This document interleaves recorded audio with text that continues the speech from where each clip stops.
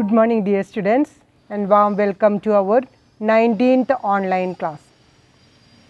കഴിഞ്ഞ ക്ലാസ്സുകളിൽ നമ്മൾ ഡിസ്കസ് ചെയ്ത് കൊണ്ടിരുന്നത് ടൈപ്സ് ഓഫ് പ്ലാന്റ്സിൽ ഡെറിവേറ്റീവ് പ്ലാന്റ്സും അതുപോലെ തന്നെ സിംഗിൾ പ്ലാന്റ്സ് എന്ന് പറയുന്ന രണ്ട് ടൈപ്പ് ഓഫ് പ്ലാന്റ്സിൽ ഉള്ള ടെൻ കോമ്പോണൻസ് എന്ന് പറയുന്നതാണ് അല്ലെങ്കിൽ പത്ത് എലമെന്റ്സ് എന്ന് പറയുന്നതാണ് അതിൽ കുറച്ചും കൂടി പോയിന്റ്സ് നമുക്ക് പറയാനുണ്ട് അതാണ് ഇന്നത്തെ ക്ലാസ്സിൽ പറയാനായിട്ട് പോകുന്നത്. അതിൽ ഫസ്റ്റ് വൺ റൂൾസ് എന്ന് പറയുന്നതാണ്.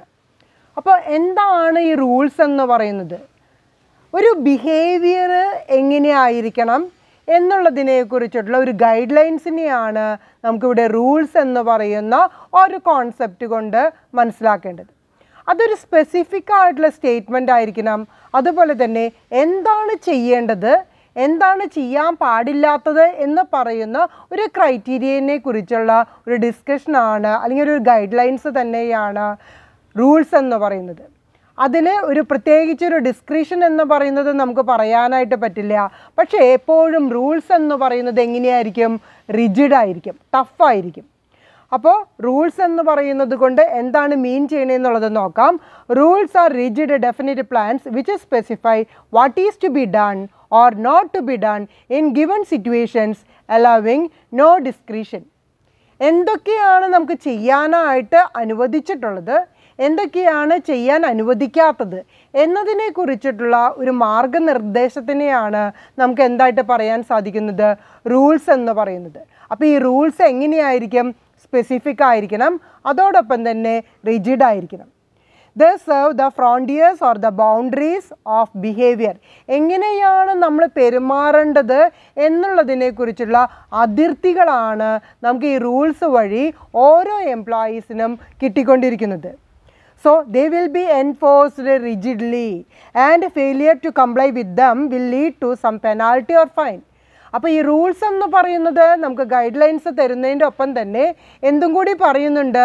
ആ ബൗണ്ടറീസ് ലംഘിക്കുകയാണെങ്കിൽ നമ്മൾ എന്തിന് അർഹരാകും? പണിഷ്മെന്റ് അല്ലെങ്കിൽ പെനാൽറ്റി അതല്ലെങ്കിൽ ഫൈൻ എന്ന് പറയുന്ന ഒരു ഏരിയയിലേക്ക് അല്ലെങ്കിൽ ഒരു ഡേഞ്ചർ സോണിലേക്ക് ഓരോ എംപ്ലോയീസും പോവാനായിട്ട് സാധ്യതയുണ്ട്. അതിനുള്ള മാർഗനിർദ്ദേശങ്ങളാണ് നമുക്ക് റൂൾസ് എന്ന് പറയുന്നത് കൊണ്ട് തരുന്നത്.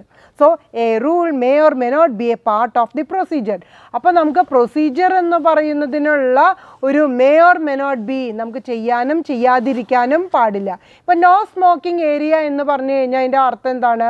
അവിടെ പുക വലിക്കാനായിട്ട് പാടില്ല. അപ്പോൾ അതൊരു നമുക്കൊരു റൂളാണ് തരുന്നത്. അവിടെ പുക വലിക്കുകയാണെങ്കിൽ പണിഷബിൾ ആയിട്ടുള്ള എന്താണോ അവിടുത്തെ പണിഷ്മെന്റ് എന്ന് പറയുന്നത് അതിന് അർഹരായി തീരും.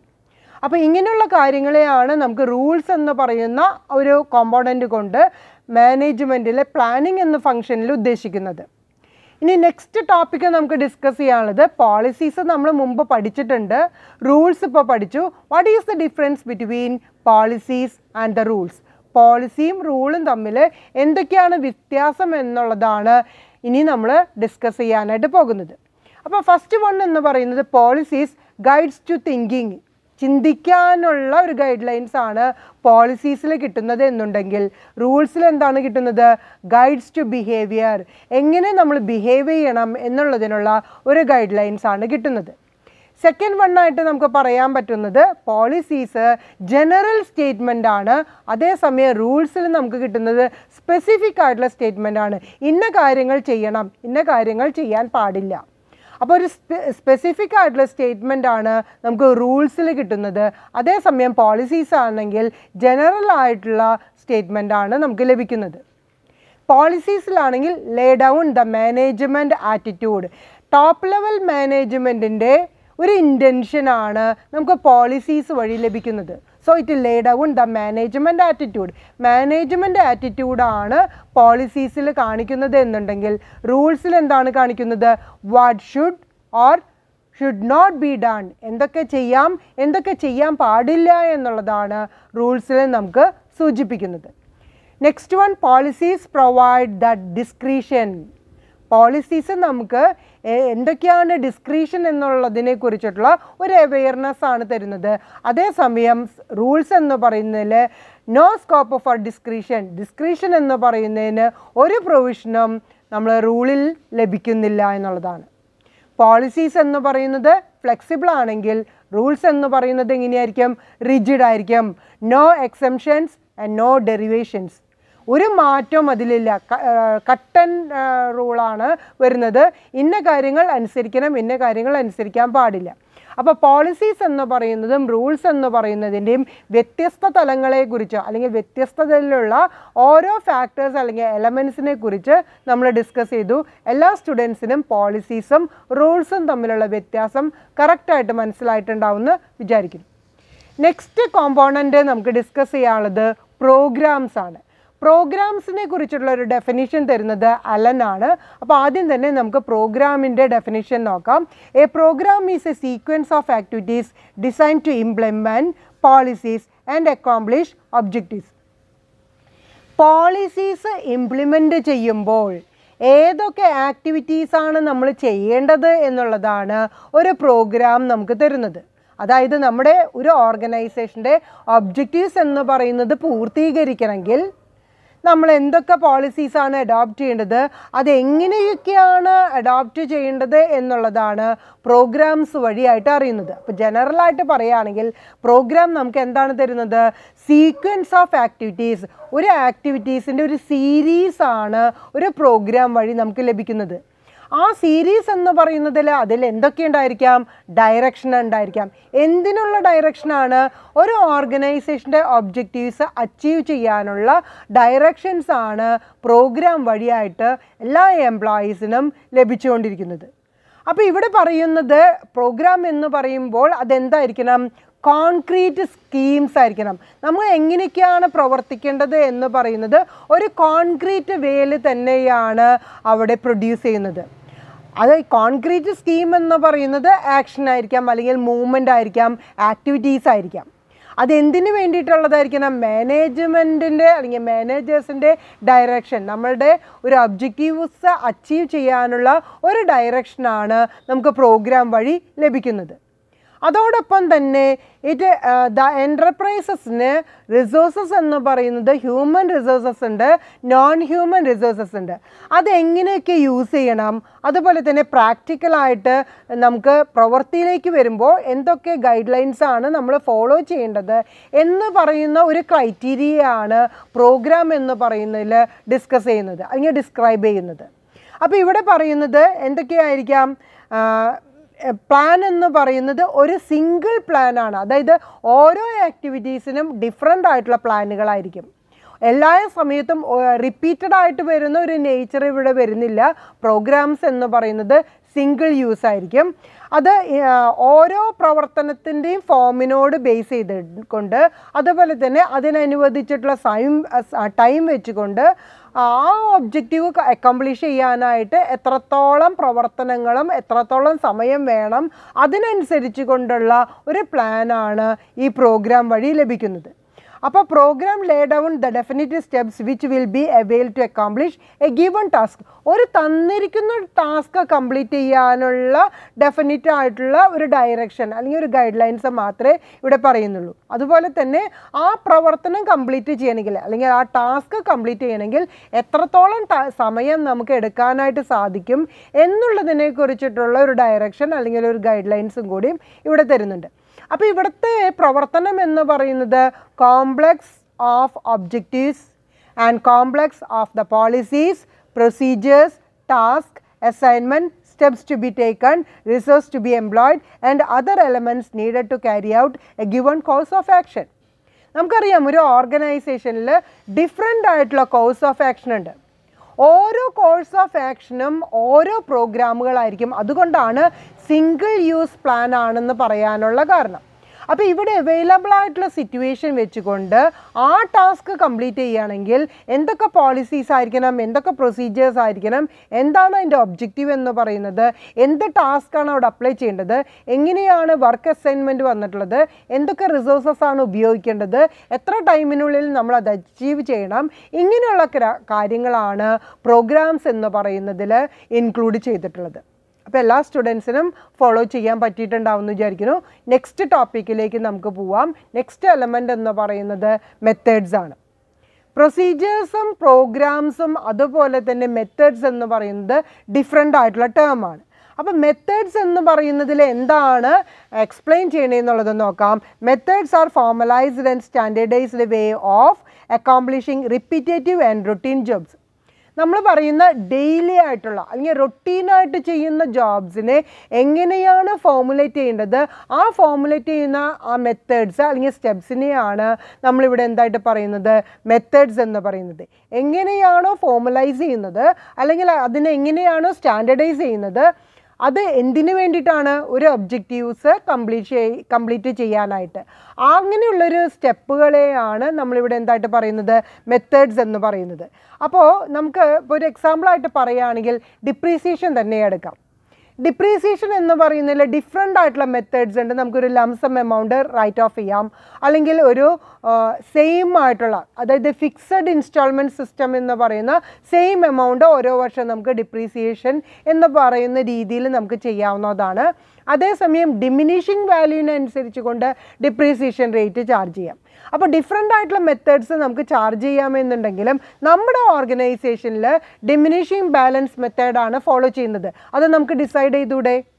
It is a type of method അപ്പോൾ നമ്മൾ ഡിഫറെന്റ് ആയിട്ടുള്ള മെത്തേഡ്സിൽ നിന്ന് നമ്മുടെ ഓർഗനൈസേഷന് ഏറ്റവും സ്യൂട്ടബിൾ ആയിട്ടുള്ള ഒരു ഡിപ്രീസിയേഷൻ മെത്തേഡ് അഡാപ്റ്റ് ചെയ്യുന്നു. അതൊരു മെത്തേഡ്സ് എന്ന് പറയുന്നതിൽ ഏറ്റവും ബെസ്റ്റ് എക്സാമ്പിളായിട്ട് നമുക്ക് പറയാവുന്നതാണ്. അപ്പോൾ മെത്തേഡ്സ് എന്ന് പറയുന്നത് എന്താണ് നിങ്ങൾക്ക് മനസ്സിലായത്? It prescribes a course of action ഒരു കോഴ്സ് ഓഫ് ആക്ഷനെ എങ്ങനെയാണ് നമുക്ക് പ്രിസ്ക്രൈബ് ചെയ്യാനായിട്ട് സാധിക്കുക? അത് എന്തിനു വേണ്ടിയിട്ടാണ്? To accomplish a task or an objective ഒരു വർക്ക് കംപ്ലീറ്റ് ചെയ്യാനായിട്ടുള്ള ആ ഒരു പ്രിസ്ക്രൈബ്ഡ് മാറ്ററിനെയാണ് അല്ലെങ്കിൽ ഒരു മാനറിനെയാണ് നമ്മൾ എന്തായിട്ട് പറയുന്നത്? ഒരു മെത്തേഡ് എന്ന് പറയുന്നത്.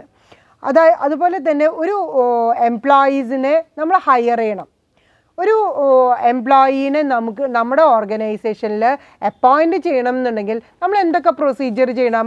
ആദ്യം നമ്മൾ അതിനുള്ള അഡ്വർടൈസ്മെന്റ് കൊടുക്കണം. നമ്മുടെ സ്ഥാപനത്തിൽ ഒരു ആളുടെ പോസ്റ്റ് ഒഴിവുണ്ട് എന്ന് പറഞ്ഞിട്ട്. അപ്പോൾ കുറച്ച് അപ്ലിക്കേഷൻസ് വരും. ആ അപ്ലിക്കേഷൻസ് സോർട്ട് ചെയ്തുകൊണ്ട് ആദ്യം ഫസ്റ്റ് നമ്മൾ സെലക്ട് ചെയ്യണം. ഈ സെലക്ട് ചെയ്തിട്ടുള്ള ആൾക്കാരുമായിട്ട് ആദ്യം സംസാരിക്കണം. അതിനുശേഷമാണ് അവർക്ക് ഡിഫറെന്റ് ആയിട്ടുള്ള ടെസ്റ്റുകൾ നടത്താം റിട്ടേൺ ടെസ്റ്റ് ഉണ്ടായിരിക്കാം.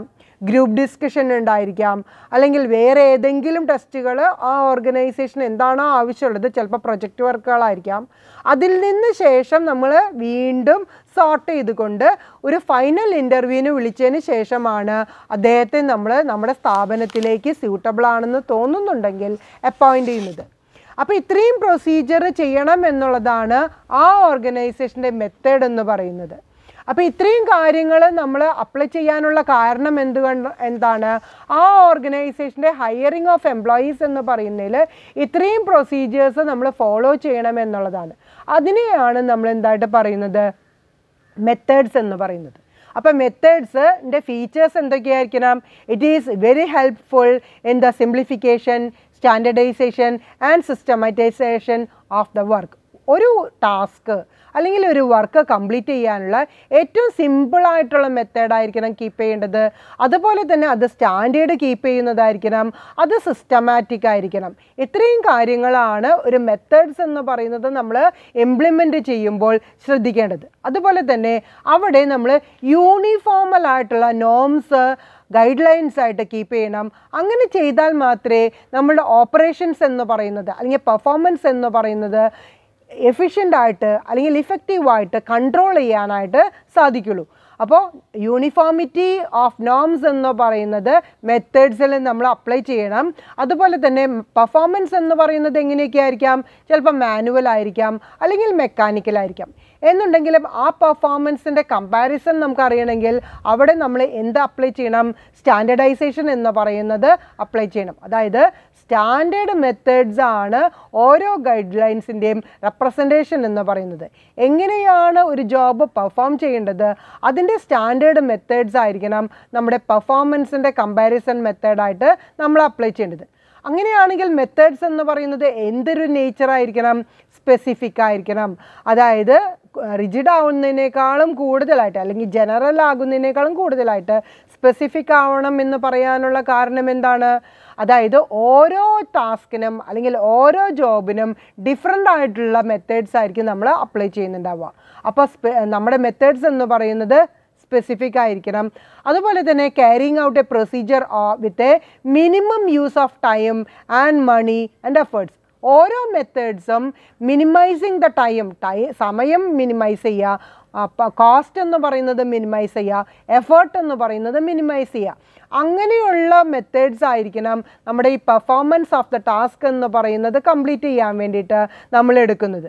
എപ്പോഴും ലിമിറ്റഡ് സ്കോപ്പ് മാത്രമേ നമ്മുടെ മെത്തേഡ്സിൽ ഉണ്ടായിരിക്കുള്ളൂ. അപ്പോൾ നമ്മൾ പ്രൊസീജിയർ എന്ന് പറയുന്നത് അല്ലെങ്കിൽ മെത്തേഡ്സ് എന്ന് പറയുന്നത് അപ്ലൈ ചെയ്യുമ്പോൾ നമ്മൾ വളരെയധികം എഫേർട്ട് എടുത്തുകൊണ്ട് തന്നെ അത് സിസ്റ്റമാറ്റിക് ആയിട്ട് പ്ലാൻ ചെയ്യാനായിട്ട് നോക്കണം. അവിടെ കൂടുതലായിട്ട് ഫോക്കസ് ചെയ്യേണ്ടത് എന്താണ്? Minimising the time minimising the cost and minimising the effort അതിന് ബേസ് ചെയ്തുകൊണ്ടുള്ള സ്റ്റാൻഡേർഡ്സ് ആയിരിക്കണം മെത്തേഡ്സ് എന്ന് പറയുന്നതിൽ നമ്മൾ കീപ്പ് ചെയ്യേണ്ടത്. നെക്സ്റ്റ് ടോപ്പിക്ക് നമുക്ക് ഡിസ്കസ് ചെയ്യാനുള്ളത് what is the difference between rules and methods നമ്മൾ നേരത്തെ റൂൾസ് എന്തൊക്കെയാണെന്ന് പറഞ്ഞു.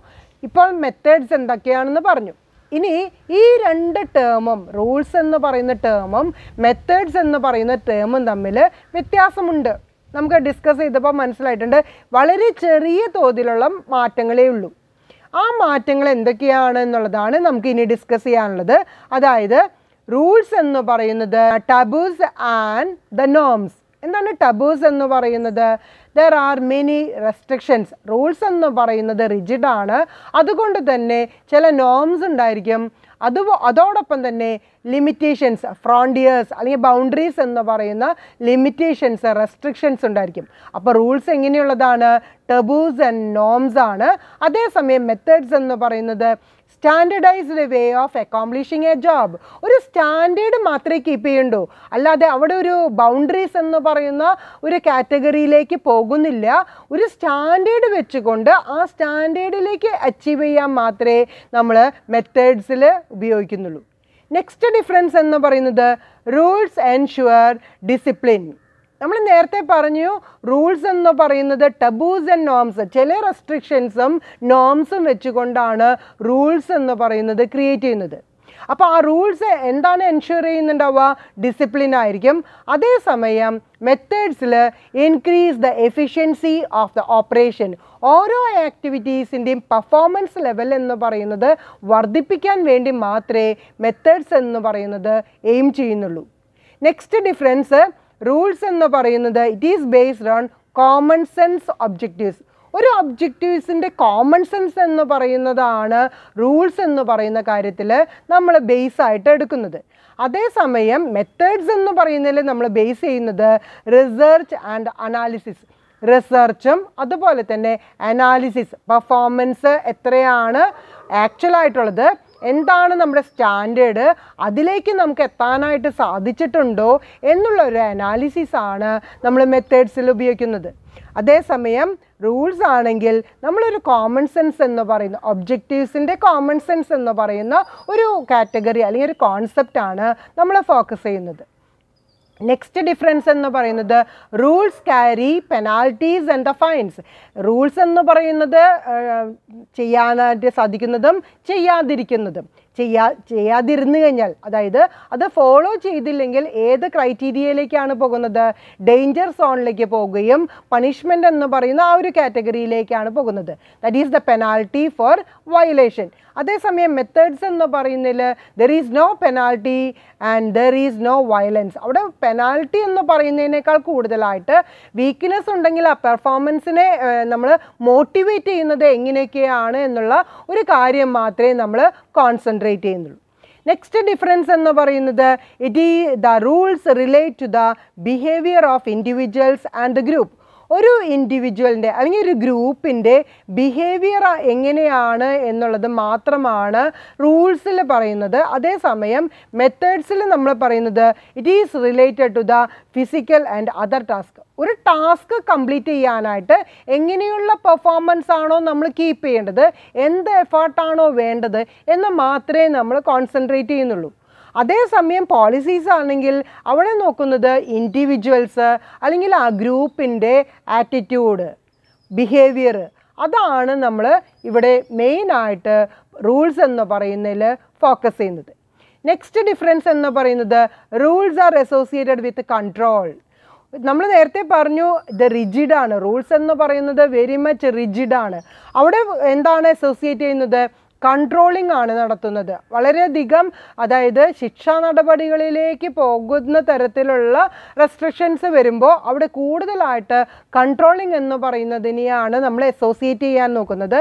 അതേസമയം മെത്തേഡ്സ് എന്ന് പറയുന്നത് not directly with the control ഡയറക്റ്റായിട്ട് കൺട്രോൾ ചെയ്യുന്നില്ല. അവിടെ കൂടുതലായിട്ട് വരുന്നത് മോട്ടിവേഷൻ അല്ലെങ്കിൽ എൻകറേജിങ് എന്ന് പറയുന്നതാണ്. അതായത് ഒരു സ്റ്റാൻഡേർഡ് വെച്ചുകൊണ്ട് ആ സ്റ്റാൻഡേർഡിലേക്ക് എല്ലാ എംപ്ലോയീസിനെയും മോട്ടിവേറ്റ് ചെയ്യുകയും അതിലേക്ക് ഡെവലപ്പ് ചെയ്യാനായിട്ടുള്ള പ്രൊസീജിയർ നടത്തുകയും മാത്രമാണ് മെത്തേഡ്സിൽ നടത്തുന്നത്. നെക്സ്റ്റ് ഡിഫറൻസ് എന്ന് പറയുന്നത് rules are official and authoritative നമ്മൾ നേരത്തെ പറഞ്ഞു കൺട്രോളിങ് എന്ന് പറയുമ്പോൾ അവിടെ കൂടുതൽ വരുന്നത് അതോറിറ്റീസ് ആൻഡ് റെസ്പോൺസിബിലിറ്റീസ് എന്ന് പറയുന്ന ഒരു ഫോക്കസിങ് ആണ്. അതേസമയം മെത്തേഡ്സ് എന്ന് പറയുന്നത് only the logical and the rational one അവിടെ എന്താണ് ലോജിക്കലായിട്ട് ചെയ്യാനായിട്ട് സാധിക്കുക? പ്രാക്ടിക്കലായിട്ട് എന്താണ് ചെയ്യാൻ സാധിക്കുക? ഒരു കാര്യം മാത്രമേ നമ്മൾ മെത്തേഡ്സിൽ വരുന്നുള്ളൂ. അപ്പോൾ ഇത്രയാണ് റൂൾസും അതുപോലെ തന്നെ മെത്തേഡ്സും തമ്മിലുള്ള ഡിഫറൻസ് എന്ന് പറയുന്നത്. എല്ലാവർക്കും കറക്റ്റായിട്ട് മനസ്സിലായിട്ടുണ്ടാവുമെന്ന് വിചാരിക്കുന്നു. റൂൾസ് എന്ന് പറയുന്നത് വളരെ റിജിഡാണ് അതിലെ സ്പെഷ്യൽ നോംസ് അതുപോലെ തന്നെ ഡിസിപ്ലിനാണ് എൻഷുർ ചെയ്യുന്നത്. സ്റ്റാൻഡർഡൈസേഷൻ എന്ന് പറയുന്നതിന് വലിയ പ്രാധാന്യമൊന്നുമില്ല. കോമൺ സെൻസ് ആണ് കൂടുതലായിട്ട് അപ്ലൈ ചെയ്യുന്നത്. പെനാൽറ്റി ഫോർ വയലേഷൻ എന്ന് പറയുന്ന ഒരു ഡേഞ്ചർ സോണും കൂടിയും റൂൾസ് എന്ന് പറയുന്ന കാറ്റഗറിയിലുണ്ട് ഇൻഡിവിജ്വൽസിന്റെയും അതുപോലെ തന്നെ ഒരു ഗ്രൂപ്പിന്റെയും ബിഹേവിയർ ആണ് കോൺസെൻട്രേറ്റ് ചെയ്യുന്നത്. റൂൾസിൽ അസോസിയേറ്റ് ചെയ്യുന്നത് കൺട്രോളിംഗ് എന്ന് പറയുന്നതും അതോറിറ്റി ആൻഡ് റെസ്പോൺസിബിലിറ്റി എന്ന് പറയുന്നതാണ് റൂൾസിൽ ഫോക്കസ് ചെയ്യുന്നത്. അതേസമയം മെത്തേഡ്സ് ആണെന്നുണ്ടെങ്കിൽ അവിടെ ഒരു സ്റ്റാൻഡേർഡൈസേഷനാണ് കൂടുതൽ ഇമ്പോർട്ടൻസ് കൊടുക്കുന്നത്. എഫിഷ്യൻസി ഇൻക്രീസ് ചെയ്യാനായിട്ടാണ് മെത്തേഡ്സ് എന്ന് പറയുന്നത് നമ്മൾ ക്രിയേറ്റ് ചെയ്യുന്നത്. അവിടെ ഡിമാൻഡ് എന്ന് പറയുന്നത് എന്തിനാണ്? സ്റ്റാൻഡേർഡൈസേഷൻ എന്ന് പറയുന്ന കാര്യത്തിലാണ്. മെത്തേഡ്സ് നമ്മൾ ക്രിയേറ്റ് ചെയ്യുന്നത്. It is based on research and analysis എന്ന് പറയുന്ന ആ ഒരു ഏരിയയിലാണ് കൂടുതലായിട്ട് കോൺസെൻട്രേറ്റ് ചെയ്യുന്നത്. പെനാൽറ്റി എന്ന് പറയുന്ന ആ ഒരു ഡേഞ്ചർ സോണിലേക്കൊന്നും മെത്തേഡ്സിന് നമ്മളെ നയിക്കുന്നില്ല. അതുപോലെ തന്നെ അത് റിലേറ്റ് ചെയ്യുന്നത് ഫിസിക്കലായിട്ടുള്ള ടാസ്ക് പെർഫോമൻസ് എന്ന് പറയുന്ന ആ ഒരു കാറ്റഗറിയിലേക്കാണ് കൺട്രോളിംഗ് എന്ന് പറയുന്നത് ഡയറക്റ്റായിട്ട് ചെയ്യുന്നില്ല. ഇൻഡയറക്റ്റ് ആയിട്ടുള്ള കൺട്രോളിംഗ് മാത്രമേ നടക്കുന്നുള്ളൂ.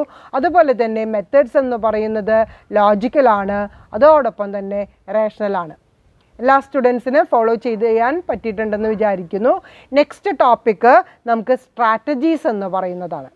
സ്ട്രാറ്റജീസ് എന്ന് പറയുന്നതിന്റെ മെയിനായിട്ട് പറയാൻ എനിക്ക് സാധിക്കുന്നത് സിംഗിൾ യൂസ് ആണ്. അതായത് ഓരോ ആക്ടിവിറ്റീസിനും ഡിഫറെന്റ് ആയിട്ടുള്ള സ്ട്രാറ്റജീസ് ആണ് നമുക്ക് ഫോളോ ചെയ്യേണ്ടത്.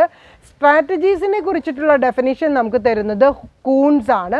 അപ്പോൾ ആദ്യം തന്നെ നമ്മുടെ കൂൺസിന്റെ ഡെഫിനിഷൻ എന്താണെന്ന് നോക്കാം. Strategy refers to the determination of purpose or mission and the long term objectives of the enterprise and the adoption of course of action and allocation of resources necessary to achieve these aims Koontz ഇവിടെ പറയുന്നത് നമുക്കൊരു ഓർഗനൈസേഷനിൽ different types of course of action ഉണ്ട്. അതിൽ ഓരോന്നിന്റെയും മിഷനിലേക്ക് അല്ലെങ്കിൽ അവിടെ എന്താണോ നമ്മൾ ഫോക്കസ് ചെയ്യുന്നതിലേക്ക് അതിലേക്ക് നമുക്ക് എത്തിച്ചേരാനുള്ള ഒരു എയിമിനെയാണ് ഇവിടെ സ്ട്രാറ്റജി എന്ന് പറയുന്ന ഒരു കാറ്റഗറി കൊണ്ട് നമ്മൾ ഉദ്ദേശിക്കുന്നത്. ഇവിടെ വരുന്നത് നമ്മളുടെ ഒരു എന്റർപ്രൈസസിന്റെ ഡിഫറെന്റ് ആയിട്ടുള്ള ഒബ്ജക്റ്റീവ്സ് എന്ന് പറയുന്നതിലേക്ക് എന്തൊക്കെ മെത്തേഡ്സ് എന്തൊക്കെ പോളിസീസ് എന്തൊക്കെ പ്രോഗ്രാംസ് ആണ് നമ്മൾ ഇംപ്ലിമെന്റ് ചെയ്യേണ്ടത്. അതുപോലെ തന്നെ നമ്മുടെ ടോട്ടൽ റിസോഴ്സസ് എന്ന് പറയുന്ന ഹ്യൂമൻ റിസോഴ്സസും നോൺ ഹ്യൂമൻ റിസോഴ്സസ് എങ്ങനെയൊക്കെയാണ് അലോക്കേറ്റ് ചെയ്യേണ്ടത് അല്ലെങ്കിൽ അസൈൻ ചെയ്യേണ്ടത് എന്നുള്ളൊരു കാര്യമാണ് സ്ട്രാറ്റജീസ് എന്ന് പറയുന്ന ആ ഒരു എലമെന്റിൽ ചിന്തിക്കേണ്ടത് എന്നുള്ളതാണ് കൂൺസ് പറയുന്നത്. ജനറലായിട്ട് നമുക്ക് സ്ട്രാറ്റജി എന്ന് പറയുന്നത് ഒരു മിലിറ്ററി ടേമിലാണ് ഈ സ്ട്രാറ്റജി എന്ന് പറയുന്ന വേർഡിന്റെ ഒറിജിൻ എന്ന് വേണമെങ്കിൽ നമുക്ക് പറയാം. അതായത് നമ്മുടെ ശത്രുക്കളെ നമ്മൾ പ്രതിരോധിക്കാൻ വേണ്ടി എന്ത് പ്രവർത്തനമാണ് നമ്മൾ എയിം ചെയ്യുന്നത് അതിനെയാണ് മിലിറ്ററി ഫോഴ്സിൽ നമ്മൾ എന്തായിട്ട് പറയുന്നത്? സ്ട്രാറ്റജി എന്ന് പറയുന്നത്. So the word strategy is a military term referring to countering the moves of the enemy force ശത്രുക്കളുടെ മൂവ്മെന്റിനെ നമ്മൾ എങ്ങനെയാണ് എതിർക്കാനായിട്ട് നോക്കുന്നത്? അതിനെ നമുക്ക് എന്തായിട്ട് പറയാം? സ്ട്രാറ്റജി എന്ന് പറയാം. എന്നാൽ ബിസിനസ് സ്ട്രാറ്റജി എന്ന് പറയുമ്പോൾ എന്താണ്? Placing oneself in the position of competitors and seeing what one's own reaction will be in similar situation ഇവിടെ നോക്കുന്നത് കോമ്പറ്റേറ്റേഴ്സിനെ നമ്മൾ പ്ലേ ശ്രദ്ധിക്കാൻ വേണ്ടി. അവരുടെ ഒരു ആ ആരാണോ നമ്മുടെ കോമ്പറ്റേറ്റർ എന്ന് പറയുന്നത് നമ്മുടെ എനിമീസ് ആണെന്ന് വേണമെങ്കിൽ പറയാം. അവരെയാണ് നമ്മൾ ടാർഗറ്റ് ചെയ്യുന്നത്. ആ ടാർഗറ്റ് ചെയ്യുമ്പോൾ ഒരാളെ നമ്മൾ ആ പൊസിഷനിൽ നിർത്താണ്. ടാർഗറ്റ് ചെയ്യാൻ വേണ്ടി. അവരുടെ പ്രവർത്തനങ്ങൾ എന്താണ്? അപ്പം നമ്മളുടെ ഒരു സെയിൽസിന്റെ ബേസിസിൽ നോക്കുകയാണെങ്കിൽ നമ്മളുടെ കോമ്പറ്റേറ്റേഴ്സ് എന്ന് പറയുന്നവരുടെ ഡിമാൻഡുകൾ എന്തൊക്കെയാണ്? അവരെന്താണ് പ്രൊഡക്റ്റിൽ മാറ്റം വരുത്തിയിട്ടുള്ളത്? ചിലപ്പോൾ അതിന്റെ പാക്കിങ്ങിലായിരിക്കാം ചിലപ്പോൾ ടേസ്റ്റിലായിരിക്കാം ചിലപ്പോൾ സൈസിലായിരിക്കാം അതുപോലെ തന്നെ ഏത് തരത്തിലുള്ള കസ്റ്റമേഴ്സാണ് നമ്മളുടെ കോമ്പറ്റേറ്റേഴ്സിന്റെ അടുത്തേക്ക് കൂടുതലായിട്ട് പോകുന്നത്? അവരെങ്ങനെയാണ് നമ്മളുടെ പ്രൊഡക്റ്റിലേക്ക് അട്രാക്റ്റ് ചെയ്യാനുള്ള മെത്തേഡ്സ് അപ്ലൈ ചെയ്യേണ്ടത്? എന്തൊക്കെയാണ് പുതിയ തരത്തിലുള്ള അഡ്വർടൈസ്മെന്റ് അല്ലെങ്കിൽ ടെക്നോളജിയിൽ മാറ്റം വരുത്തേണ്ടത് ഇങ്ങനെയുള്ള കാര്യങ്ങളെക്കുറിച്ച് നമുക്ക് റിസർച്ച് നടത്തണമെന്നുണ്ടെങ്കിൽ അതായത് നമ്മുടെ പ്രൊഡക്റ്റിന്റെ ഡിമാൻഡ് വർദ്ധിപ്പിക്കണം. അതോടൊപ്പം തന്നെ നമ്മുടെ പ്രൊഡക്റ്റിന് കൂടുതലായിട്ട് സെയിൽസ് ഉണ്ടാക്കണം. ആ ഒരു ക്രൈറ്റീരിയയിൽ നമ്മൾ ചിന്തിക്കുകയാണെങ്കിലാണ് സ്ട്രാറ്റജി എന്ന് പറയുന്ന ഒരു കോൺസെപ്റ്റിന്റെ കൂടുതൽ ഇൻഫ്ലുവൻസ് വരുന്നത്. അപ്പോൾ ഇവിടെ നമ്മൾ വെറുതെ കോമ്പറ്റേറ്റേഴ്സിന്റെ കാര്യങ്ങൾ നമ്മൾ ഫോളോ ചെയ്യാൻ നോക്കിയാൽ പോരാ. അവിടെ നമ്മൾ നോക്കേണ്ടത് കോസ്റ്റും കൂടി കണക്കാക്കണം. അതായത് ഒരു ഓർഗനൈസേഷൻ നിൽക്കുന്നത് എന്തിനു വേണ്ടിയിട്ടാണ്? ലാഭേച്ഛയോട് കൂടിയിട്ടാണ് പ്രോഫിറ്റ് മേക്കിങ്ങിന് വേണ്ടിയിട്ടാണ്. അപ്പോൾ നമ്മുടെ പ്രോഫിറ്റിൽ മാറ്റം വരുത്താതെ അല്ലെങ്കിൽ പ്രോഫിറ്റ് വർദ്ധിപ്പിക്കത്തക്ക വിധത്തിലുള്ള സെയിൽസ് വോളിയത്തിന്റെ ഇൻക്രീസ് എന്ന് പറയുന്ന ആ ഒരു ക്രൈറ്റീരിയയിൽ നിന്നുകൊണ്ട് എന്തൊക്കെ സ്ട്രാറ്റജിയാണ് നമ്മൾ അപ്ലൈ ചെയ്യേണ്ടത് എന്നുള്ളത് ചിന്തിക്കുന്നതിനെയാണ് ഇവിടെ സ്ട്രാറ്റജി എന്ന് പറയുന്ന ടേം കൊണ്ട് ഉദ്ദേശിക്കുന്നത്. അതായത് കോമ്പറ്റേറ്റേഴ്സിനെ നോക്കാം. എന്നിട്ട് നമ്മളിൽ എന്ത് മാറ്റം വരുത്തണം എന്നുള്ളത് ചിന്തിക്കുക അതിനെയാണ് സിമ്പിളായിട്ട് നമുക്ക് പറയാൻ പറ്റുന്നത് സ്ട്രാറ്റജി എന്ന് പറയുന്നത്. അപ്പോൾ സ്ട്രാറ്റജി എന്ന് പറയുന്നത് ഞാൻ നേരത്തെ പറഞ്ഞു സിംഗിൾ യൂസ് പ്ലാനാണ് ഒരു പ്രാവശ്യം ചെയ്ത കാര്യം നമ്മൾ വീണ്ടും ആവർത്തിച്ച് കഴിഞ്ഞാൽ അവിടെ നമുക്ക് കസ്റ്റമേഴ്സിന്റെ ഡിമാൻഡ് എന്ന് പറയുന്നത് നിലനിർത്താനായിട്ട് സാധിക്കില്ല.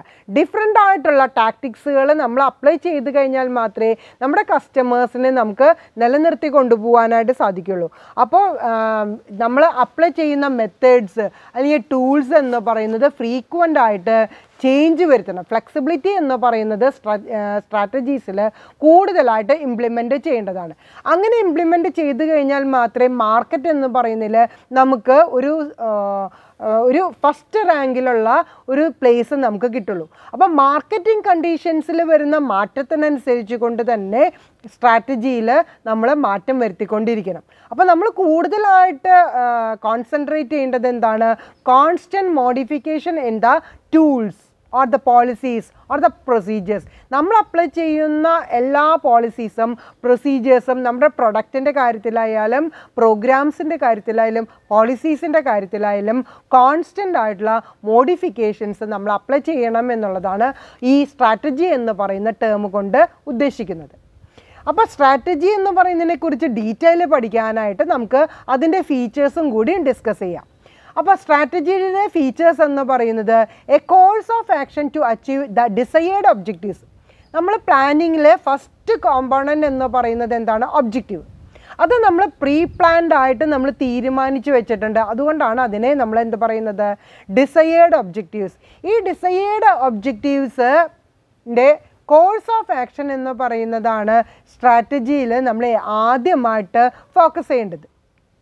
Next one strategy relates to the organisation's environment നമ്മൾ അവിടെ അങ്ങനെ ചെയ്തു ഇവിടെ അങ്ങനെ ചെയ്തു മറ്റവരങ്ങനെയാണ് ചെയ്യുന്നത്. അങ്ങനെ നമുക്ക് പറഞ്ഞാൽ പറ്റില്ല. നമ്മുടെ ഓർഗനൈസേഷന്റെ എൻവയൺമെന്റിന് അനുസരിച്ച് കൊണ്ടുള്ള ഒരു സ്ട്രാറ്റജി ആയിരിക്കണം നമ്മൾ പ്ലാൻ ചെയ്യുന്നത്. Next one strategy attempts to combine the internal forces and the external forces internal ഫോഴ്സസും അതുപോലെ തന്നെ എക്സ്റ്റേണൽ ഫോഴ്സസും നമുക്കറിയാം ഇന്റേർണൽ എന്ന് പറയുന്നത് നമ്മളുടെ സ്ഥാപനത്തിന്റെ ഉള്ളിലുള്ള ഫാക്ടേഴ്സ് അതിൽ മെൻ ഉണ്ടായിരിക്കാം മെറ്റീരിയൽ ഉണ്ടായിരിക്കാം മെഷീനറീസ് ഉണ്ടായിരിക്കാം. ഇത് ത്രീ എംസ് ആണ് ഇന്റേർണൽ റിസോഴ്സസ് എന്ന് പറയുന്ന ഇന്റേർണൽ ഫോഴ്സസ് അതിന്റെ ഉള്ളിൽ നിന്നുകൊണ്ടും എക്സ്റ്റേണൽ ഫാക്ടേഴ്സ് എന്ന് പറഞ്ഞു കഴിഞ്ഞാൽ സോഷ്യോളജിക്കൽ പൊളിറ്റിക്കൽ ഇക്കണോമിക്കൽ സൈക്കോളജിക്കൽ ആയിട്ടുള്ള ഫാക്ടേഴ്സ് ഈ എല്ലാ കാര്യങ്ങളെയും നമ്മൾ കോൺസെൻട്രേറ്റ് ചെയ്തുകൊണ്ട് അല്ലെങ്കിൽ കമ്പൈൻ ചെയ്തുകൊണ്ടായിരിക്കണം ഒരു സ്ട്രാറ്റജി എന്ന് പറയുന്നത് ഡെവലപ്പ് ചെയ്യേണ്ടത്. Next one strategy is based on the result of A saute analysis saute analysis എന്ന് പറയുന്നത് നേരത്തെ നമ്മൾ സ്ട്രെങ്ത് പറഞ്ഞപ്പോൾ പഠിച്ചിട്ടുണ്ടായിരുന്നു. എന്താണ് ഈ സോട്ട് അനാലിസിസ് എന്ന് പറയുന്നത്?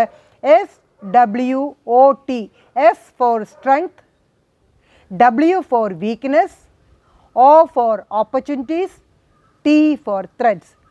ഇത് നാലും ചേർന്ന് കൊണ്ടുള്ള ഒരു അനാലിസിസിനെയാണ് നമ്മൾ എന്ത് പറയുന്നത്? സോട്ട് അനാലിസിസ് എന്ന് പറയുന്നത്.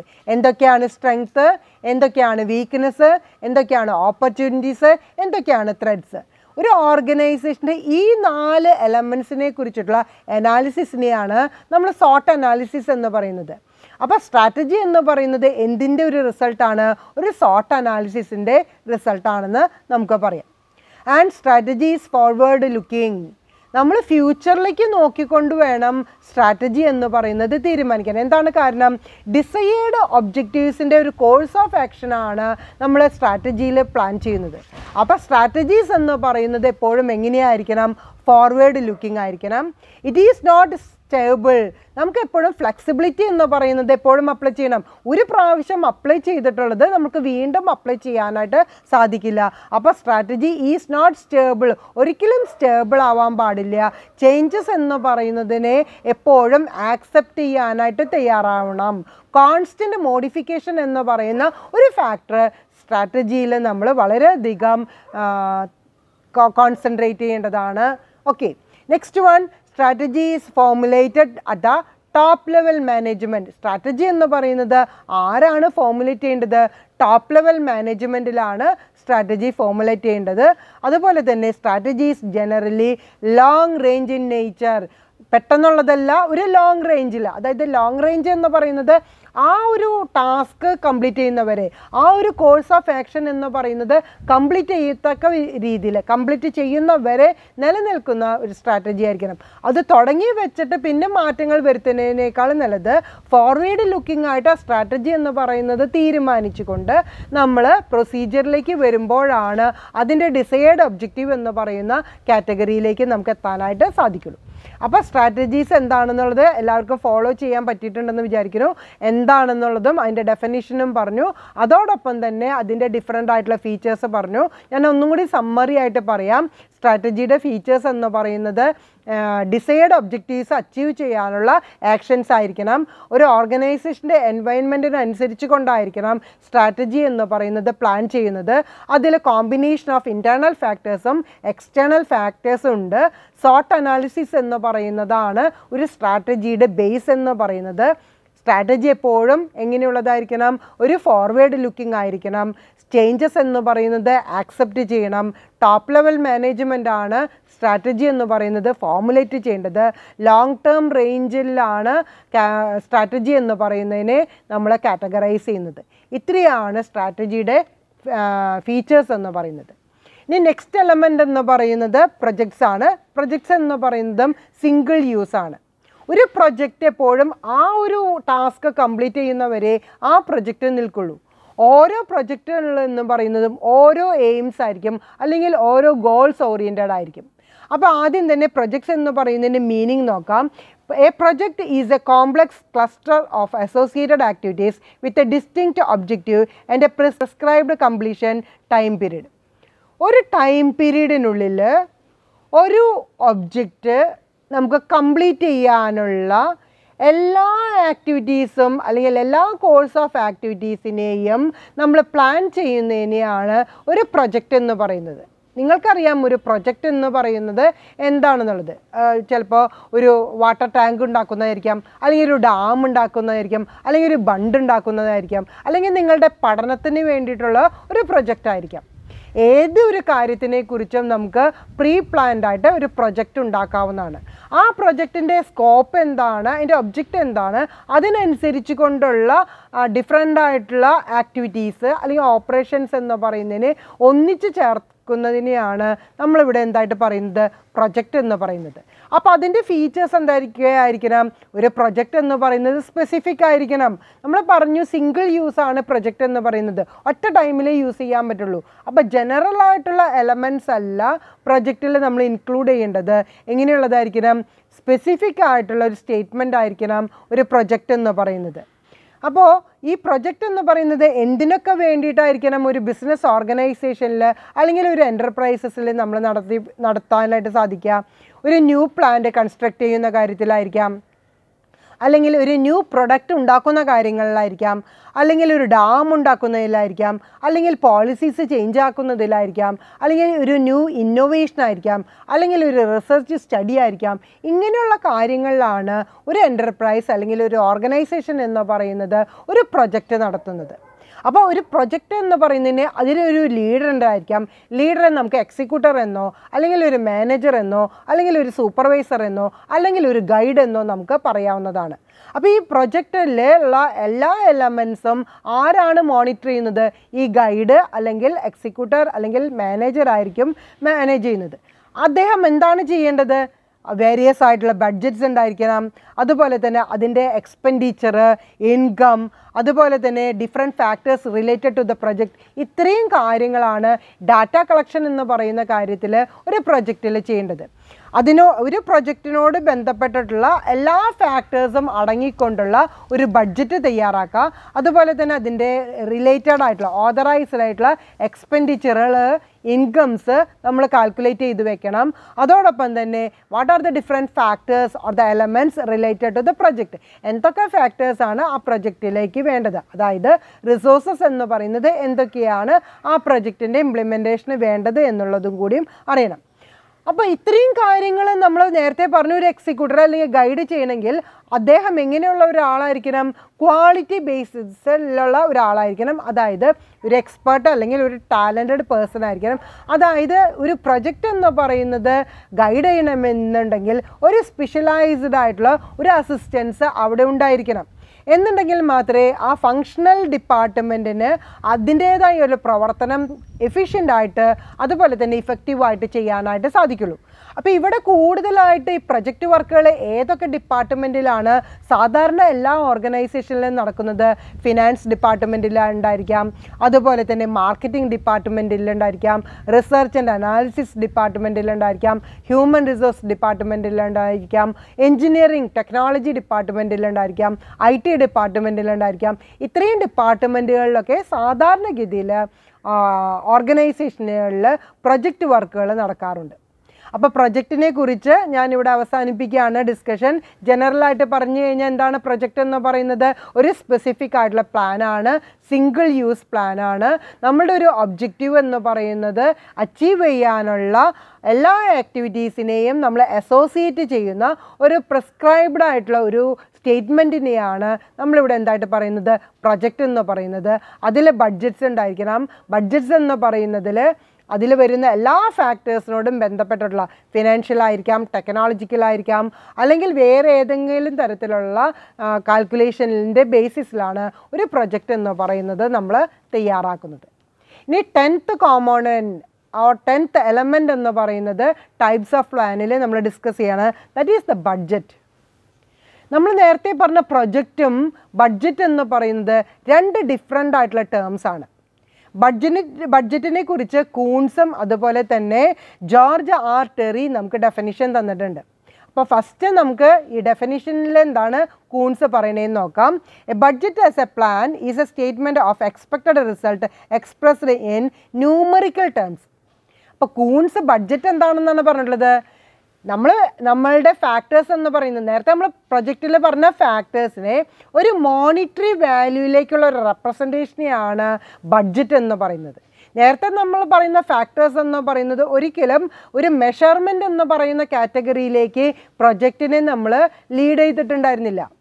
അതേസമയം ബഡ്ജറ്റിൽ എന്തൊക്കെയാണ് ലേ ഡൗൺ ചെയ്യുന്നത്?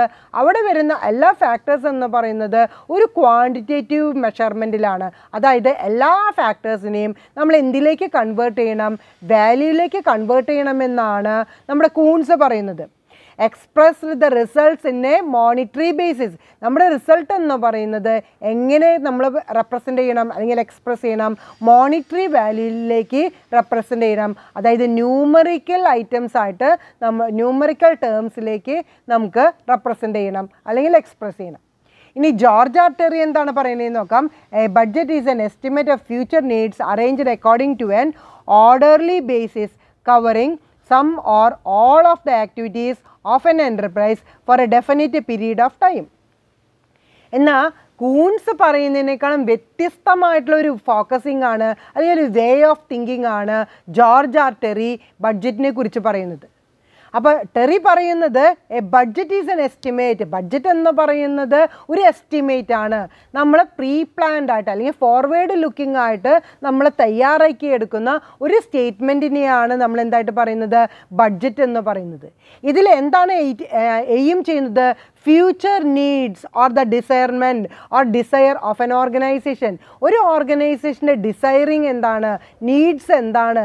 എന്നുള്ളൊരു കാര്യമാണ് നമ്മൾ ബഡ്ജറ്റ് എന്ന് പറയുന്നതിൽ നമ്മൾ ഫോർവേഡ് ലുക്കിങ്ങിൽ ഒരു സ്റ്റേറ്റ്മെന്റ് ആയിട്ട് എസ്റ്റിമേറ്റ് ചെയ്യുന്നത്. അതിൽ ആ എയിമിന് വേണ്ടിയിട്ടുള്ള എല്ലാ ആക്ടിവിറ്റീസിനെയും നമ്മൾ ഇൻക്ലൂഡ് ചെയ്യണം. അതുപോലെ തന്നെ അത് എന്നാണ് തുടങ്ങേണ്ടത് എന്നുള്ളതും എന്നാണ് അവസാനിപ്പിക്കേണ്ടത് എന്നുള്ളതിനെക്കുറിച്ച് ഒരു ക്ലിയർ ആയിട്ടുള്ള ഒരു ഡ്രാഫ്റ്റ് തന്നെയായിരിക്കണം ബഡ്ജറ്റ് എന്ന് പറയുന്നത് എന്നുള്ളതാണ് ജോർജ് ആർട്ടറി പറയുന്നത്. അപ്പോൾ നമ്മൾ കൂൺസിന്റെ ഡെഫിനേഷനും ജോർജ് ആർ ടെറിയുടെ ഡെഫിനേഷനും നമ്മൾ മനസ്സിലാക്കിയിട്ട് അതിന്റെ ഒരു ജനറൽ മീനിങ്ങിലേക്ക് നമുക്ക് പോകാം ബഡ്ജറ്റ് എന്ന് പറയുന്നത് it is an allocation of resources എന്ന് നമുക്ക് ജനറലായിട്ട് പറയാം. റിസോഴ്സസ് എന്ന് പറഞ്ഞാൽ എന്തൊക്കെയാണുള്ളത്? ഹ്യൂമൻ റിസോഴ്സസ് ഉണ്ട്. അതുപോലെ തന്നെ നോൺ ഹ്യൂമൻ റിസോഴ്സസ് ഉണ്ട്. ഇതിന്റെ ഒരു അലോക്കേഷനെയാണ് ബഡ്ജറ്റ് എന്ന് നമുക്ക് ജനറൽ മീനിങ് ആയിട്ട് പറയാവുന്നതാണ്. അതായത് ഒരു ഓർഗനൈസേഷന്റെ ഒബ്ജക്റ്റീവ്സ് എന്ന് പറയുന്നതിലേക്ക് അച്ചീവ് ചെയ്യാനായിട്ട് എന്തൊക്കെ റിസോഴ്സസ് വേണം അതിനെ ക്ലിയർ ആയിട്ട് അലോക്കേറ്റ് ചെയ്യുന്നതിനെ നമുക്ക് ബഡ്ജറ്റ് എന്ന് പറയാം. അതെങ്ങനെ അലോക്കേറ്റ് ചെയ്യണം? In the quantitative terms quantitative ടേംസിൽ അളന്ന് തൂക്കി നമ്മൾ അലോക്കേറ്റ് ചെയ്യണം എന്നുള്ളതാണ് ബഡ്ജറ്റ് എന്ന് പറയുന്ന ആ ഒരു എലമെന്റ് കൊണ്ട് ഇവിടെ ഉദ്ദേശിക്കുന്നത്. അപ്പോൾ budget may be expressed in numerical terms നമ്മൾ നേരത്തെ പറഞ്ഞു ക്വാണ്ടിറ്റേറ്റീവ് മെഷർമെന്റ് എന്ന് പറയുന്നത് എന്തിലേക്കായിരിക്കണം എക്സ്പ്രസ് ചെയ്യേണ്ടത്? ന്യൂമറിക്കൽ ടേമിൽ എക്സ്പ്രസ് ചെയ്യണം. ന്യൂമറിക്കൽ ടേമിൽ എന്ന് പറയുമ്പോൾ റുപ്പീസ് ആയിരിക്കാം പ്രൊഡക്ട്സ് ആയിരിക്കാം അല്ലെങ്കിൽ മാൻ അവേഴ്സ് ആയിരിക്കാം അല്ലെങ്കിൽ മെഷീൻ അവേഴ്സ് ആയിരിക്കാം. ഇതെല്ലാം എങ്ങനെ നമ്മൾ എക്സ്പ്രസ് ചെയ്യണം? ന്യൂമറിക്കൽ ടേംസിൽ എക്സ്പ്രസ് ചെയ്യണം. അപ്പോൾ ബഡ്ജറ്റ് എന്ന് പറയുന്നത് ഏതൊക്കെ കാറ്റഗറിയിലായിരിക്കണം ഒരു ഓർഗനൈസേഷനിൽ നമ്മൾ നടത്തേണ്ടത് ഓപ്പറേഷനിലായിരിക്കാം അല്ലെങ്കിൽ ക്യാപിറ്റലിന്റെ ഇൻഫ്ലോ ആൻഡ് ഔട്ട്ഫ്ലോ ആയിരിക്കാം. അതായത് application and the collection next one cash flows ആയിരിക്കാം. ക്യാഷ് എവിടെ നിന്നൊക്കെ വരുന്നു? എവിടേക്കൊക്കെ പോകുന്നു? അതുപോലെ തന്നെ പ്രൊഡക്ഷൻ എങ്ങനെയൊക്കെയാണ് നമ്മൾ പ്രൊഡ്യൂസ് ചെയ്യേണ്ടത്? അതായത് ഡിമാൻഡിനനുസരിച്ച് കൊണ്ടാണ് സപ്ലൈ നടത്തേണ്ടത്. സപ്ലൈനനുസരിച്ച് കൊണ്ടാണ് പ്രൊഡക്ഷൻ നടത്തേണ്ടത്. അതുപോലെ തന്നെ സെയിൽസ്. നമ്മുടെ കോമ്പറ്റേറ്റേഴ്സ് എത്രത്തോളം വോളിയം ഓഫ് സെയിൽസ് നടത്തുന്നുണ്ട്. നമ്മൾക്ക് എത്രത്തോളം സെയിൽസ് എന്ന് പറയുന്നത് ഇൻക്രീസ് ചെയ്യാനായിട്ട് സാധിക്കും. ഇങ്ങനെയുള്ള ഫാക്ടേഴ്സിനോട് റിലേറ്റഡ് ആയിട്ടുള്ള ഇതാണ് ബഡ്ജറ്റ് എന്ന് പറയുന്നത് നമ്മൾ നടപ്പിലാക്കേണ്ടത്. ഓരോ ഓർഗനൈസേഷനിലും നടപ്പിലാക്കേണ്ടത്. അപ്പോൾ ഇതിനെ നമുക്ക് എന്തായിട്ട് പറയാം? സിംഗിൾ യൂസ് പ്ലാനായിട്ട് ഓരോ ബഡ്ജറ്റിനെയും പറയാവുന്നതാണ്. അപ്പോൾ ബഡ്ജറ്റ് എന്ന് പറയുന്നത് നമുക്ക് ഏതൊക്കെ ആയിരിക്കും? അപ്പോൾ നമ്മൾ നേരത്തെ പറഞ്ഞു ഡിഫറെന്റ് ഫീൽഡ് എന്ന് പറയുന്നത് മാർക്കറ്റിംഗ് ഉണ്ട് സെയിൽസ് ഉണ്ട് അതുപോലെ തന്നെ ഹ്യൂമൺ ഓപ്പറേഷൻസ് ഉണ്ട് മാൻ ലേബർ മെഷീൻ ലേബർ ഇതിലെല്ലാം നമ്മൾ ബഡ്ജറ്റ് എന്ന് പറയുന്നത് ഇൻക്ലൂഡ് ചെയ്യണമെന്നുണ്ടെങ്കിൽ ഏതൊക്കെ തരത്തിലുള്ള ബഡ്ജറ്റ്സ് ആയിരിക്കും നമ്മൾ സാധാരണഗതിയിൽ തയ്യാറാക്കാറുള്ളത്?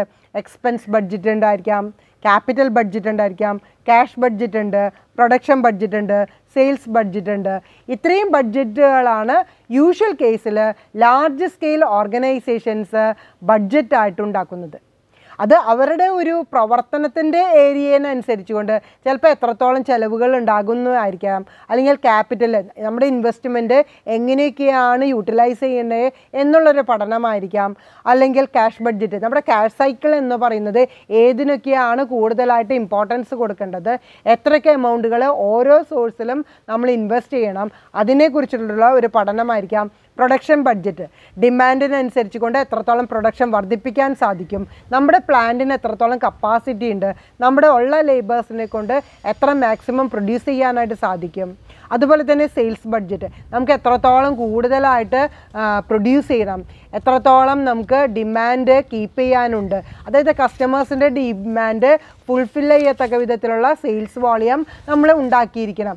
അത് നമ്മൾ ഇങ്ങനെയൊക്കെയാണ് കോൺസെൻട്രേറ്റ് ചെയ്യേണ്ടത്. ഇത്രയും കാര്യങ്ങളാണ് നമ്മൾ ബഡ്ജറ്റ് എന്ന് പറയുന്ന കാര്യത്തിൽ നമ്മൾ ശ്രദ്ധിക്കേണ്ടത്. അപ്പോൾ ബഡ്ജറ്റ് എന്ന് പറയുന്നതിന് നമുക്ക് ജനറലായിട്ട് പറയുകയാണെങ്കിൽ എക്സ്പെക്റ്റഡ് റിസൾട്ട് നമ്മൾ എന്താണോ റിസൾട്ട് പ്രതീക്ഷിക്കുന്നത് അതിനെ നമുക്ക് എന്തായിട്ട് പറയാം? ബഡ്ജറ്റ് എന്ന് പറയാം. പക്ഷെ അതിൽ നമ്മളുടെ കയ്യിലുള്ള men material labour men material machinery എന്ന് പറയുന്ന ത്രീ എംസിനെ നമ്മൾ എന്ത് ചെയ്യണം? കൺട്രോൾ ചെയ്യണം. നമ്മളുടെ റിസോഴ്സസ് എന്ന് പറയുന്നത് ഒരു എപ്റ്റി ഒപ്റ്റിമം ലെവലിൽ അലോക്കേറ്റ് ചെയ്യണം. എന്നാൽ മാത്രമേ ഈ ബഡ്ജറ്റ് എന്ന് പറയുന്നത് ഇഫക്റ്റീവ് അല്ലെങ്കിൽ എഫിഷ്യന്റ് എന്ന് പറയുന്നത് ആക്കാനായിട്ട് സാധിക്കുള്ളൂ. അതുപോലെ തന്നെ അതിന്റെ പെർഫോമൻസ് എന്ന് പറയുന്നതിനെ ഒരു സ്റ്റാൻഡേർഡൈസ്ഡ് ആക്കി തീർക്കണമെന്നുണ്ടെങ്കിൽ ബഡ്ജറ്റ് എന്ന് പറയുന്നത് ക്വാളിറ്റേറ്റീവ് ബേസിസിലും അതുപോലെ തന്നെ ക്വാണ്ടിറ്റേറ്റീവ് ബേസിസിലും നമ്മൾ കറക്റ്റായിട്ട് പ്ലാൻ ചെയ്യണം. ക്വാണ്ടിറ്റേറ്റീവ് ബേസിസ് എന്ന് പറയാനുള്ള കാരണം എന്താണ്? അത് ഓരോ ഡാറ്റാസും നമുക്ക് എന്ത് ചെയ്യണം? അതിൽ വരുന്ന ഓരോ ഫാക്ടേഴ്സിനും മെഷർ ചെയ്യാനായിട്ട് സാധിക്കണം. ന്യൂമറിക്കൽ ടേമിലേക്ക് നമുക്ക് കൺവേർട്ട് ചെയ്യാനായിട്ട് സാധിക്കണം. അപ്പോൾ മാത്രമേ നമുക്ക് അനാലിസിസ് ഇന്റർപ്രിറ്റേഷൻ എന്ന് പറയുന്നത് കറക്റ്റായിട്ട് ചെയ്യാനായിട്ട് സാധിക്കുള്ളൂ. അപ്പോൾ ബഡ്ജറ്റ് എന്ന് പറയുന്നത് ഒരു പ്ലാനിങ് എന്ന് പറയുന്ന ഒരു ഫംഗ്ഷന്റെ ഏറ്റവും അത്യാവശ്യമുള്ളത് അതായത് ബാക്ക് ബോൺ എന്ന് പറയുകയാണെങ്കിൽ പറയാം. ഏറ്റവും ഇമ്പോർട്ടന്റ് ആയിട്ടുള്ള ഒരു പ്ലേസ് തന്നെയാണ് പ്ലാനിങ് എന്ന് പറയുന്ന ഫംഗ്ഷന് ബഡ്ജറ്റ് എന്ന് പറയുന്ന എലമെന്റ് കൊണ്ട് ഉദ്ദേശിക്കുന്നത്. അപ്പോൾ ഇത്രയുമാണ് നമ്മുടെ ബഡ്ജറ്റ് എന്ന് പറയുന്നതിനെ കുറിച്ചിട്ട് എനിക്ക് പറയാനുള്ളത്. അപ്പോൾ ടൈപ്സ് ഓഫ് പ്ലാൻ എന്ന് പറയുന്ന കാര്യത്തിൽ ടു ടൈപ്സ് ഓഫ് കാറ്റഗറിയാണ് നമ്മൾ പറഞ്ഞിട്ടുണ്ടായിരുന്നത്. അതായത് സിംഗിൾ യൂസ് പ്ലാനും റിപ്പീറ്റഡ് യൂസ് ഓഫ് പ്ലാനും എന്ന് പറയുന്ന രണ്ട് കാറ്റഗറീനെ കുറിച്ചിട്ട് സിംഗിൾ യൂസിൽ നാലും അതുപോലെ തന്നെ റിപ്പീറ്റഡ് യൂസിൽ ആറ് ഒബ്ജക്റ്റീവ്സ് ആറ് എലമെന്റ്സ് എന്ന് വേണമെങ്കിൽ പറയാം. അല്ലെങ്കിൽ ആറ് കോമ്പോണൻസ് എന്ന് വേണമെങ്കിൽ പറയാം. അതാണ് നമ്മൾ മൂന്ന് ക്ലാസ് ആയിട്ട് ഡിസ്കസ് ചെയ്തത്. അപ്പോൾ ഇത് എസ് എ ക്വസ്റ്റിനൊക്കെ നമുക്ക് വരാവുന്നതാണ് പ്ലാനിങ്ങിന്റെ ഡിഫറെന്റ് ടൈപ്സ് ഓഫ് പ്ലാൻ എന്ന് പറയുന്നത്. അതിൽ ഓരോന്നും നിങ്ങൾക്ക് സെപ്പറേറ്റ് ആയിട്ട് തന്നെ ഡെഫിനിഷന് ഫീച്ചേഴ്സ് അതുപോലെ തന്നെ അതിന്റെ ഇമ്പോർട്ടൻസ് ഡിഫറൻസ് പലതും തമ്മിലുള്ള ഡിഫറൻസ് എന്ന് പറയുന്നത് നമ്മൾ പഠിച്ചിട്ടുണ്ടായിരുന്നു. ഇതൊക്കെ രണ്ട് മാർക്കിന്റെയും അതുപോലെ തന്നെ നാല് മാർക്കിന്റെയും ചോദ്യങ്ങൾ വരാറ് വരാറുള്ളതാണ്. അതോടൊപ്പം തന്നെ നിങ്ങൾക്കറിയാം അത് മൂന്ന് ക്ലാസ് ആയിട്ട് ഞാൻ എടുത്തിട്ടുണ്ടെങ്കിൽ അതിന്റെ പ്രാധാന്യം നിങ്ങൾക്ക് ഓരോ സ്റ്റുഡൻസിനും മനസ്സിലായിട്ടുണ്ടാവും എന്ന് വിചാരിക്കുന്നു. ടെക്സ്റ്റിലുള്ളത് മാത്രം പഠിച്ചാൽ പോരാ. അതിനെ പോയിന്റ് വൈസ് ആയിട്ട് ഡീറ്റെയിൽ ആയിട്ട് തന്നെ പഠിക്കാനായിട്ട് റെഫർ ചെയ്തുകൊണ്ട് തന്നെ പഠിക്കാനായിട്ട് നോക്കുക നിങ്ങളുടെ ടെക്സ്റ്റിലില്ലാത്ത ഏതെങ്കിലും പോയിന്റ് ഞാൻ പറയുക പറഞ്ഞിട്ടുണ്ടെങ്കിൽ അതും കൂടി നോട്ട് ചെയ്യുക ഇപ്പോൾ ഈ ഈ ഒരു ടോപ്പിക് ടൈപ്സ് ഓഫ് പ്ലാൻ എന്ന് പറയുന്നത് അത്യാവശ്യം ഡീറ്റെയിൽ ആയിട്ട് തന്നെ നിങ്ങളുടെ ബുക്കിലുണ്ട് അപ്പോൾ സ്റ്റുഡൻസ് അത്ര തന്നെ പഠിച്ചാൽ മതി പക്ഷെ അതൊരു സിസ്റ്റമാറ്റിക് ആയിട്ട് പഠിക്കാനായിട്ട് നോക്കാം. എന്താണെന്ന് വെച്ചിട്ടുണ്ടെങ്കിൽ വാസ്റ്റ് ഏരിയ ഉള്ളത് കൊണ്ടാണ് ഞാൻ എന്ത് പറയുന്നത്? അത് സിസ്റ്റമാറ്റിക് ആയിട്ട് പഠിക്കണം എന്ന് തന്നെ പറയുന്നത്. എല്ലാ സ്റ്റുഡൻസിനെ ഫോളോ ചെയ്യാൻ പറ്റിയിട്ടുണ്ടെന്ന് വിചാരിക്കുന്നു. എല്ലാവർക്കും ക്ലിയർ ആയിട്ടുണ്ടെന്ന് തന്നെയാണ് വിശ്വസിക്കുന്നത്. If there is any doubts please ask at the time of your interaction time okay thank you thank you very much